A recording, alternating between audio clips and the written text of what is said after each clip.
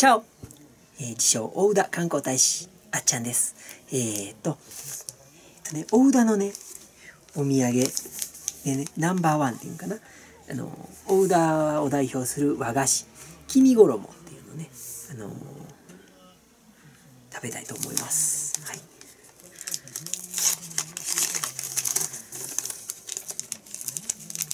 大田といえば黄身衣って言われるぐらいね有名なお菓子なんだけどもこれもね 3, 3箇所ぐらいで作ってんねんこれはね野口さんの黄身衣やねんけどもね野口さんって書いてある道の駅で買ってきてん、うん。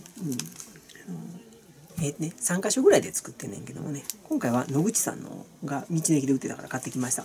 こんな感じのもんです。はい。これがねまたねお面白い食感で食べる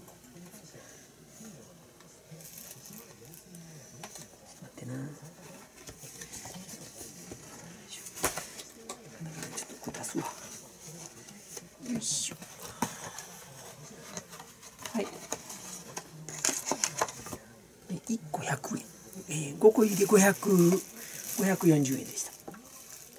こんなん四角いこんなんやけどこれね外黄身やねん。で中があの卵白やねだから黄身衣なメレンゲを黄身で衣してやるのおかしいんだけどふわふわやねねあついた、うん、ふわふわやねんけどこれね美味しくて食べるとねこんなんなんかメレンゲ、うん、口の中でもふわって溶けるよな、うん、だけど、うん、こんな和菓子です。うん、これがまたねお茶に合うからね。ちょっとお茶大和茶を入れました、うん、奈良観光大使あっちゃんがねこの奈良のお茶と奈良のね宇田の和菓子にいただきたいと思います。大和茶。うん。美味しい。じゃあちょっとねぬるいめのお湯で入れたお茶で美味しいです。はい。うん。うん。歯いらんぐらい。ふわってとろけんの、これ結構ね初めて食べた人は衝撃的らしいんでね。でびっくりすんね。でダメな人はダメ。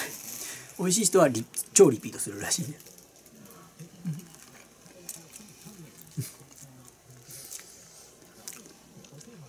美味しい。また今度ね違うところの見物も買っていきたいと思います。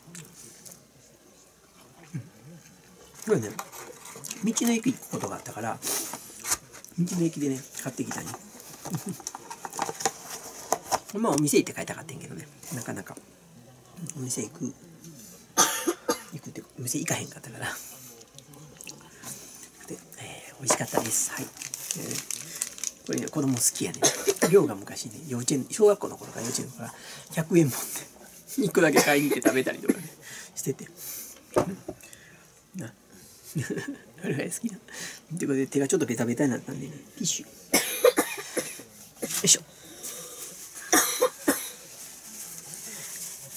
なんか美味しいですよ、これ。うん、ただね、その生菓子だから、あのなかなかね、あの、うだにコンと食べられへんお菓子なんで、うん、やっぱ硬くなったりするしね味落ちるからねそのできたら作ったその日に食べてほしいと思います。はい、ということで、えー、っと大宇田観光大使あっちゃんから、えー、大宇田の、えー、和菓子名物を紹介しました。またよかったら大宇田へ食べに来てください。はい、ということで、えー、っとめっちゃ美味しかったです。ではまたね久しぶりに食べたわ。